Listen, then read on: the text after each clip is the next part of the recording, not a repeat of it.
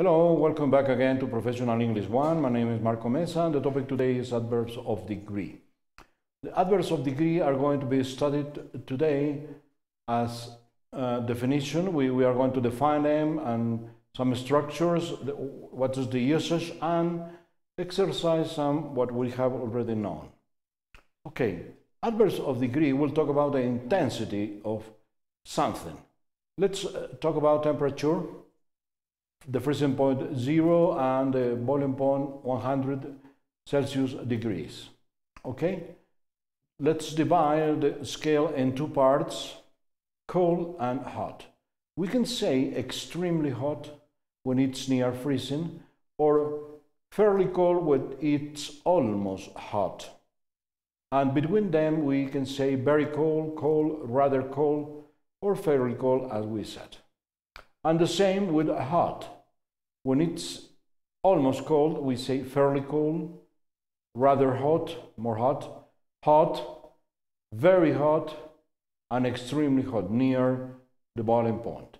And we can say that hot and cold are gradable, gradable adjectives, okay? But boiling point is non-gradable and freezing point is also non-gradable because it has no different intensity. It boils or it just freezes. Okay. Um, adverbs degree will answer the questions of how much. From not very to extremely. Not very, it's going to be the slowest, the lightest, the lightest, lightest, sorry, um, shortest, and etc okay and extremely is the highest uh, possibility. Really pretty rather a lot are uh, medium possibilities also of degree intensities of something.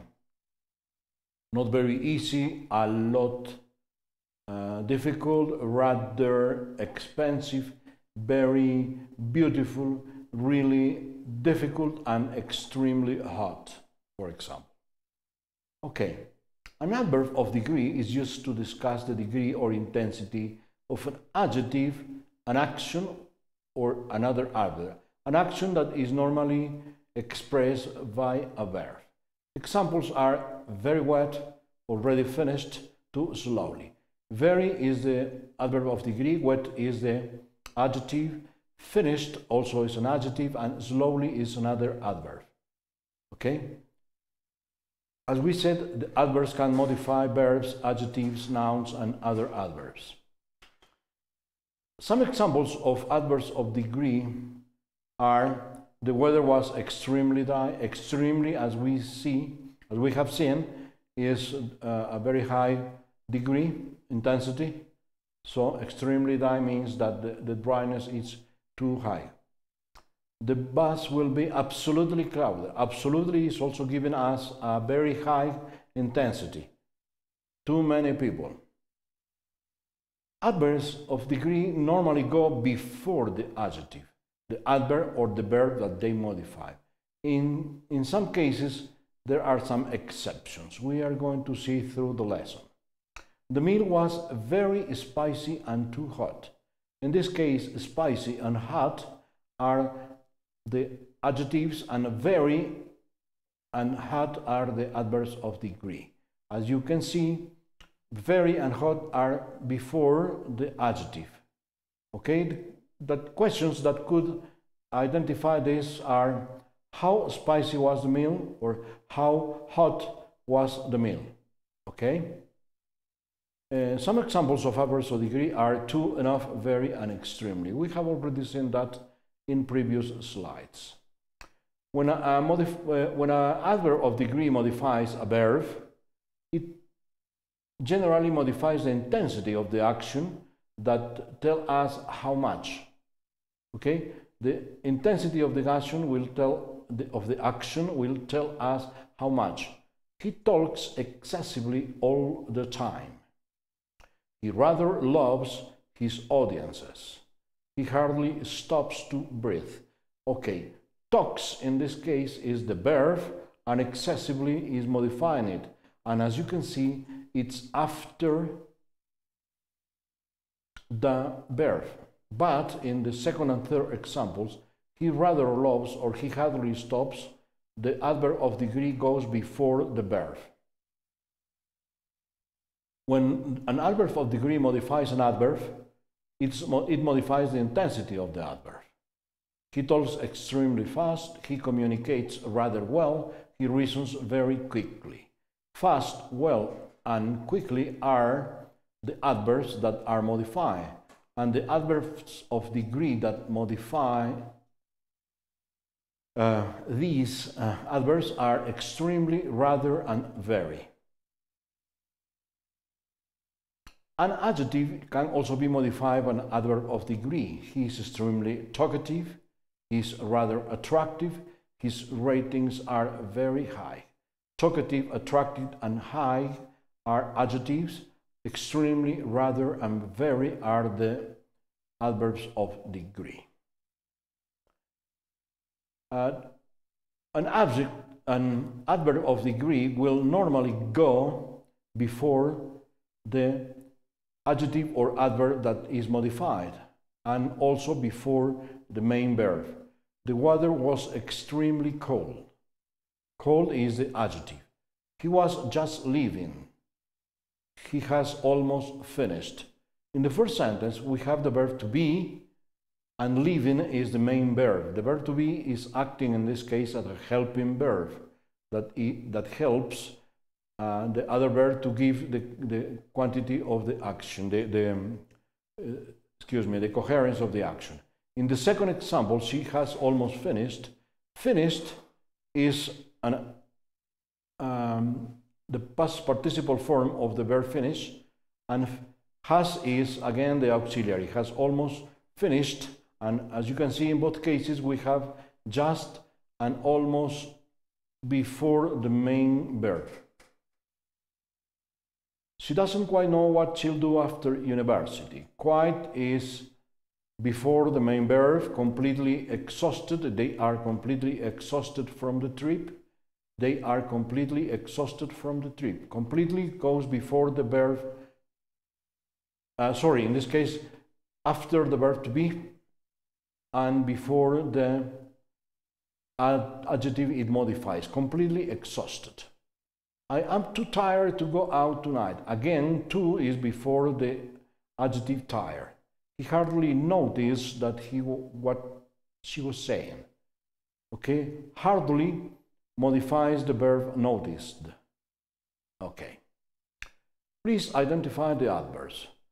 There were almost they were almost finished. Finished is the adjective, almost is the adverb. This cake is absolutely wonderful. Wonderful is the adjective, the adverb is absolutely. In this third example, freezing and above are modified by barely. Above is an adverb and barely is the modifying adverb of the degree. Our driveway is completely frozen. Frozen is the adjective and completely is the adverb. We felt incredibly lucky after winning tickets to the World Championship. Okay, incredibly is the adverb of degree and lucky is the adjective. My teacher is terribly upset today. Upset is the adjective and terribly is the adverb. Okay. Uh, the cloth was really wet. Good is not an adjective and really is the adverb of degree. The garden is very and enough are adverbs of degree, but very is what suits best in this case. I am just, and two is the answer because hardly exhausted is not correct. Is this suitcase light? And enough is the answer because almost does not make sense in this case. Okay? This is an. Okay, this an, the article an is giving us the answer. An extremely complicated issue because and so does not work. The teacher is enough respected, incorrect, greatly respected is correct. We should eat a perfectly balanced diet, makes sense. So balanced diet doesn't make sense. So the answer is A. In this example, we need to do a question using the interrogative word what. We have the verb to be and the verb to be goes before the subject. But in this case, what asks for the subject. So we need to use this as a guide to make the interrogative question. What we're almost finished? Yes, because we are we are asking about the subject and the subject does not appear in the question. The cake is too sweet. Okay, we have already seen examples of this and the answer is how sweet is the cake? Remember that the verb to be goes before the subject. How sweet is this cake? The answer is too sweet. In number nine, we have how. Okay, let's analyze the, the sentence. The road was barely trackable. Trackable is the adjective and barely is the adverb of uh, degree. So how trackable was the road is a correct answer. But also we can say how was the road. But if we want to keep coherence about the first sentence, we should make the first option. How trackable was the road? Number 10, let's see. How is our driveway? Yes, because uh, blocked is not really, uh, it would be very easy to understand. Okay, again, we felt incredibly lucky after winning 23rd tickets to the World Cup last week. When did we feel incredibly lucky? Okay, because when is asking for a time, and the time is uh, to the World Cup last week. Last week, to the World Cup last week. Okay, another possibility is when did we feel incredibly lucky after winning 23 tickets to the World Cup? But it's not that correct. So please stick to the Example that is on a screen. My teacher is terribly upset today. How upset is my teacher or how is my teacher? Okay? She does not quite know what she will do after university. Simple question. In simple questions, we do not use interrogative words because the answer could be yes or no. Okay we have two possibilities. One is to maintain the negative form and we will say, does she not quite know what she will do after university? Remember, the particle not remains in its place. This is very formal English and that's the way that is recommended. Another possibility is that she quite know what she will do after university, but it, it's not maintaining the coherence with the, the uh, affirmative sentence. Does she not quite know what she will do after university? Remember, we have explained this in previous lessons. They are completely exhausted from the trip. How exhausted are they from the trip? Or how are they from the trip? Okay,